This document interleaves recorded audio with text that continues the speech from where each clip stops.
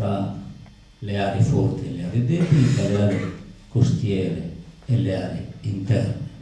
E quindi è assicurato, vigileremo soprattutto che i paesi dell'interno abbiano più risorse per garantire più sviluppo, più occupazione e più lavoro.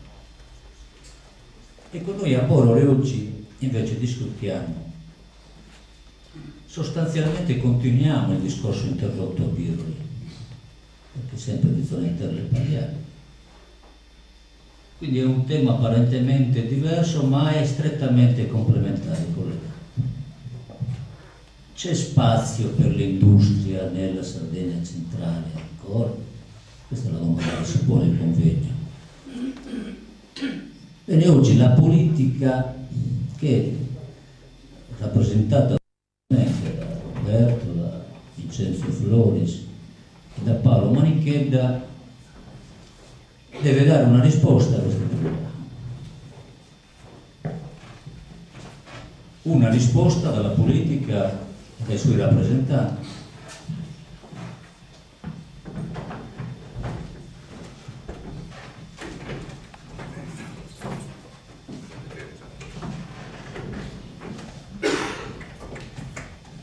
Una risposta deve essere data anche dalla politica regionale, dalla programmazione regionale e qui autorevolmente rappresentata dall'assessore eh, professor Pigliaro che salutiamo e ringraziamo.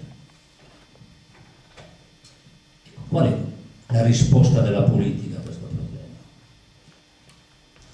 Ci si limita ancora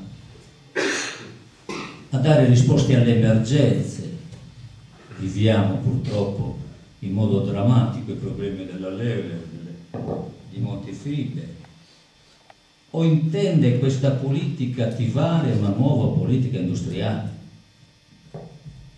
per la Sardegna centrale, per le zone interne?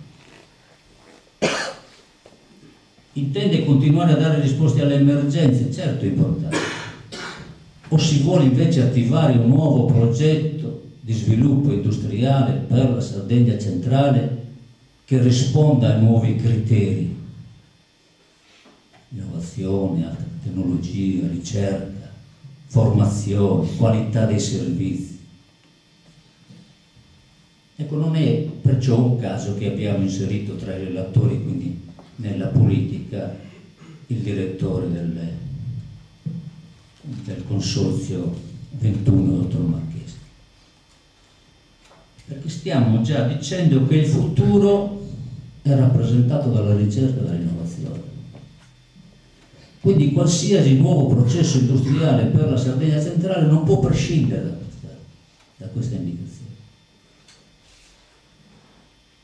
Un dato comunque certo, sto per concludere, che siamo di fronte ad una crisi profonda dell'industrializzazione della Sardegna centrale. Il disegno industriale degli anni 70 si è concluso è finito. Con risultati positivi e negativi, credo che non sia questa la sede per approfondire la storia di questo disegno. Certamente la fuga di Enichel, la chiusura di Montefibre, la crisi del, del tessile sono le tappe finali questo processo industriale. Sono le tappe finali D'altro lato gli interventi indicati in questi anni, contratto d'aria, l'accordo sulla chimica, si sono dimostrati inadeguati o insufficienti per bloccare questa crisi o per riprendere iniziare un nuovo processo industriale. E allora, questa è la domanda e questo è il motivo del convegno Cosa fare a questo punto? E ci poniamo una serie di domande. C'è ancora bisogno di industria? C'è un futuro per l'industrializzazione della sede centrale? Quale industria? Quali servizi? Quali strumenti legislativi e finanziari, quali incentivi eventualmente, quale modello di governance della politica industriale nel territorio, qual è il ruolo dei soggetti locali, della provincia, della, delle amministrazioni comunali. Bene, credo che il convegno poteva dare almeno non tutte, alcune risposte.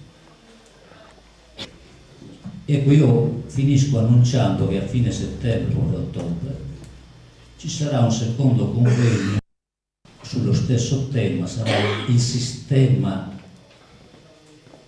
economico e sindacale a dare la risposta che oggi, che oggi spetta alla politica.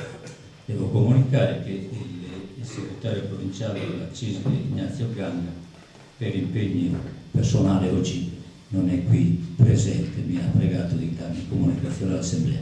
Ecco, io ho finito, vi ringrazio e buon lavoro.